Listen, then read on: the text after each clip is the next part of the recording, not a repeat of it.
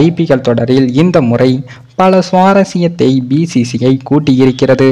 அதில் முக்கியமான ஒன்று இந்த இம்பாக்ட் பிளேயர் விதிதான். இதன் மூலம் ஐபிஎல் தொடரின் வடிவமே தலைகீழாக மாற உள்ளது. ஆடுகளம் திடீரென்று சுழற்பந்து வீச்சுக்கு சாதகமாக மாறினாலும் இல்லை என்றால் எதிரணி வேகப்பந்து வீச்சை சமாளிக்க திணறினாலும் நாம் ஆட்டத்தின் எந்த நேரத்திலும் இந்த இம்பாக்ட் வீரர்கள் விதியை பயன்படுத்தி கொள்ளலாம். இதே போன்று பேட்ஸ்மேன்கள் சீக்கிரம் ஆட்டமிழந்து விட்டார்கள்.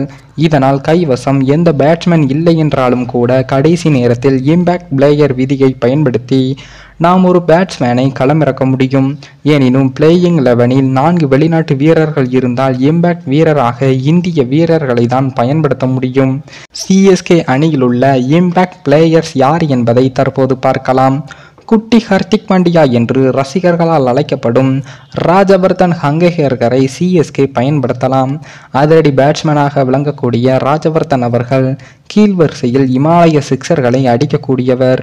இதே போன்று பந்து வீச்சிலும் அதிவேக செயல்பாட்டு நெருக்கடி கொடுப்பவர். அதே போல சிஎஸ்கே அணியில் இடம்பெற்றுள்ள சிவம் தூபேவும் இம்பாக்ட் பிளேயராக தோனி அவர்கள் பயன்படுத்த வாய்ப்பு இருக்கிறது. கடந்த சீசன்களில் கூட சிவம் தோவை அவர்கள் தனது பேட்டிங் திறமையை பயன்படுத்தி இருக்கிறார். இதனால் சிஎஸ்கே அணிக்கு பேட்டிங் சிக்கல் எழுந்தால் நிச்சயம் சிவம் தூவை அவர்கள் நல்ல ஜாய்ஸாக இருப்பார். இதே போன்று அண்டர் நைன்டீன் வீரர் நிசாந்த் சித்துவும் இம்பேக்ட் பிளேயராக தனது திறமையை நிரூபிக்க காத்து கொண்டு உள்ளார். அடுத்த ஜடேஜாவாக நிசாந்த் சிந்து அவர்கள் வர அதிக வாய்ப்பு இருக்கிறது. பேட்டிங்கிலும் சுழற்பந்து வீச்சிலும் கலக்கக்கூடிய நிசாந்த் சிந்து அவர்கள் தோனிக்கு துருப்புச்சீட்டாக நிச்சயம் இருக்கலாம்.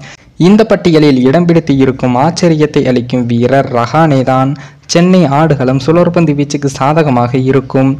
அப்போது விக்கெட்டுகள் மலமளவென விழுந்தாலும் அதனை தனது அனுபவம் மூலம் எதிர்கொள்ள ரஹானே அவர்கள் நல்ல சாய்ஸாக இருப்பார். பேட்டிங்கிலும் ரஹேனேவுக்கு வேகமாக விளையாட தெரியும் என்பதும் குறிப்பிடத்தக்கது.